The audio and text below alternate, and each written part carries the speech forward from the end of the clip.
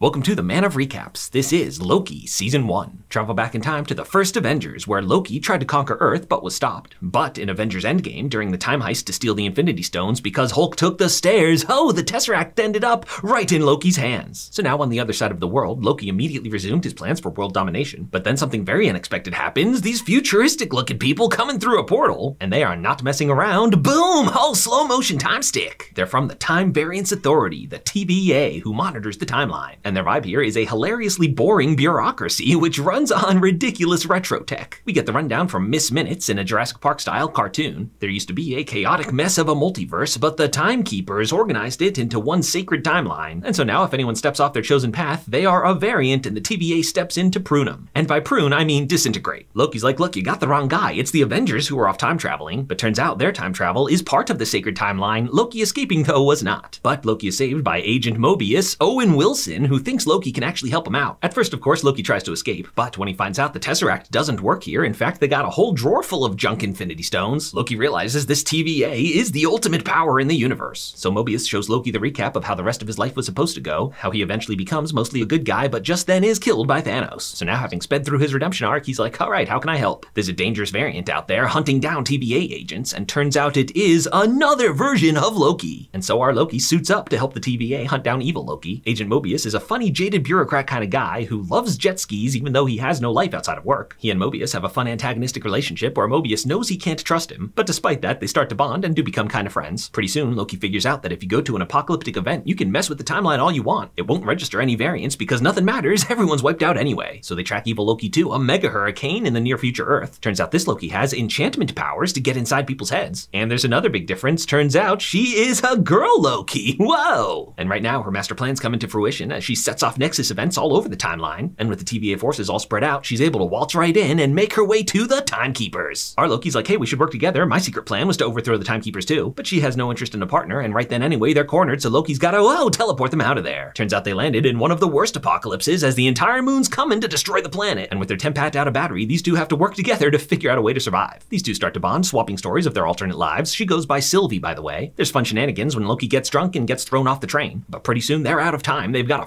fight their way to the evacuation ship, which does not evacuate. In the face of certain death, Sylvie tells the story of how she was just a little girl when the TVA came and ripped her out of her life. She managed to escape but spent her whole life on the run. It's a sad story, and Loki's like, hey girl, I don't think you're a mistake. I think you're super hot. And so as the world's about to end, these two have developed kind of a crush on each other. Somehow this causes a huge nexus spike, and the TVA is able to get there and rescue them. Unfortunately, though, they're rescued right back into custody. Loki's sent to a memory loop prison where Lady Sif makes a cameo and repeatedly kicks him in the nuts. But when Mobius interrogates him, Loki drops the epic truth bomb Sylvie told him. Turns out all the TVA agents are variants themselves who have had their minds wiped that used to have real lives. So Mobius goes to see his boss, Judge Renslayer, and these two are good friends from working together for an eternity. But now Mobius swaps their phones, finds out that Loki's telling the truth. It's like, hey man, we gotta tell everyone. But Renslayer's already onto him, and no mercy for her old friend, she prunes Mobius. And now it's time for Loki and Sylvie to be pruned too, and the timekeepers themselves want to watch. But just then, Hunter B-15 busts in and sets him free. Yes, Sylvie told her the truth too. So it's a big old fight scene that ends with Sylvie, oh, she did it, killed the timekeepers. But what's this? They're not real, they were just robots. Yes, someone was Wizard of Ozing them, but then who's the man behind the curtain? But before they could figure it out, Loki is pruned, no! But turns out he's not disintegrated, he was teleported to a strange place, surrounded by other variants of himself. One of whom is an alligator. How did that one even happen? They call this place the Void, and there's a giant cloud monster here, Alioth, who eats everything. These Lokis have survived by running and hiding, and they've all basically given up. But Lokis are good at surviving, there's a whole bunch of them here. And in classic Loki fashion, they are all constantly betraying each other. Oh, so embarrassing. Meanwhile, Sylvie found out that Loki isn't dead, so she pulls a bold move and prunes herself. She wakes up in the Void, reunites with Mobius, then tracks down our Loki. She has a plan to get past Alioth. She thinks she can enchant it. So Loki and Sylvie share another tender moment. He's like, look, I realize I used to betray everyone I ever cared about, but I don't want to be that guy anymore. Then he shares a tender moment with Mobius, who's become true friends with. And as he goes back to deal with the TVA, Loki and Sylvie are going to fight a cloud. Sylvie starts enchanting while Loki pulls the Jurassic Park flare distraction, but the much better distraction comes from old Loki, who summons an entire illusory Asgard. In the end, he sacrifices himself, but bought just enough time. Oh, they've enchanted this thing. So now our heroes get to find out who's really behind the TVA, living in the spooky castle at the end of time. And turns out the most powerful being in the universe is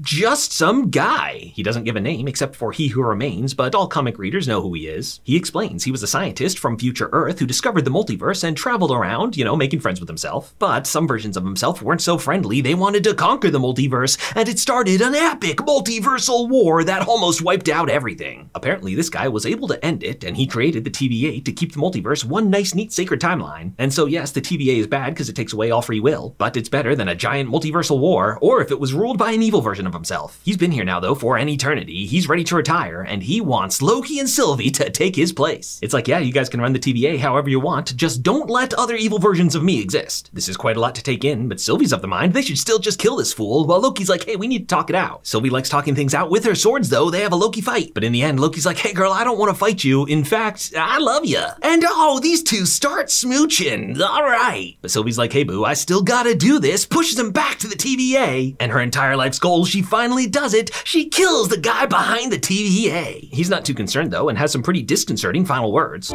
See you soon and Sylvie kind of realizes maybe he wasn't lying and I've made a huge mistake. And now, with no one controlling the timeline, it starts splintering off in all directions. It's multiverse time, baby! Back at the TVA, Loki tracks down Mobius and fills him in on the situation, but Mobius doesn't recognize him. Time travel is weird, but somehow this TVA is already under the control of a different version of that guy. What effect will our newly emerging multiverse have on the wider Marvel Cinematic Universe? Things are about to get crazy! And that's how Loki Season 1 comes to an end.